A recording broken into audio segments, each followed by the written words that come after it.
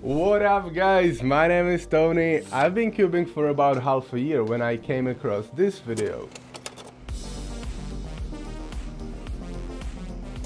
That's right, this video by Cubehead made me learn full OLL. Thank you Milan. But first, let's go back in time a bit. When I learned how to solve a cube, I was just shredding the LBL method as any beginner would. But then, something unexpected happened. My mom also knew how to solve the cube, and she just started learning F2L, which meant that inevitably, after a while she would beat my times if I didn't improve. So I was forced to learn CFOP because of my mom. It was during the corona pandemic and I had a lot of free time, so I quickly got used to the method and improved fast. Naturally, I started learning PLL, which wasn't as hard as I thought, but it took me solid 3 months to learn all 21 algs. But then, there was the toughest part of CFOP, learning OLL. I've printed all the algs on 5 A4 papers and glued them on my door. Well, guess what? I didn't learn it just by sticking it there.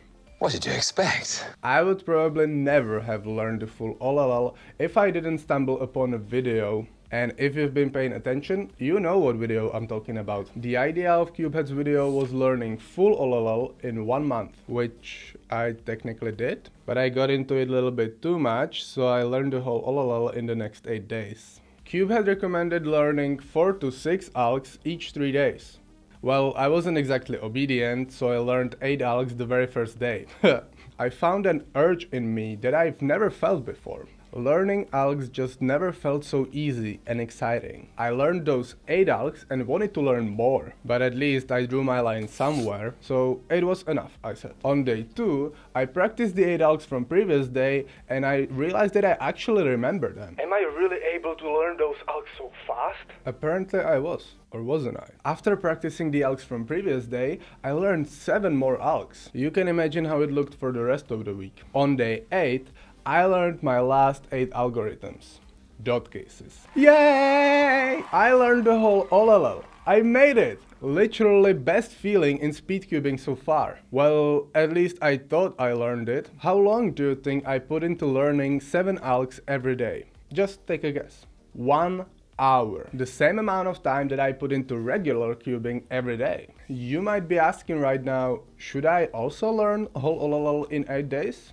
No, you dummy, read the title of this video. My disappointment is immeasurable. Because now the real struggle begins. After that week of learning, I was just so stoked about my results. It still took me about 4 seconds to recognize some of the cases, but I did it. I got those algs in my memory. After a couple days, I realized I didn't remember one alg. The same day, I forgot another one. And another one.